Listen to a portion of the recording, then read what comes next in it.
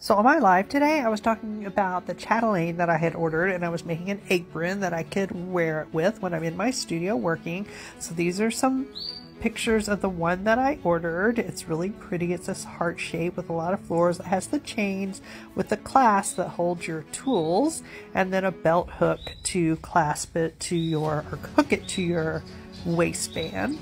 So I really like this one to go with it, I ordered some accessories. I have some little scissors already to hook to it, but I ordered this little beeswax thread waxer. I ordered this needle case to go with it. I ordered this short little ruler. I got it with a Starry Night design on it.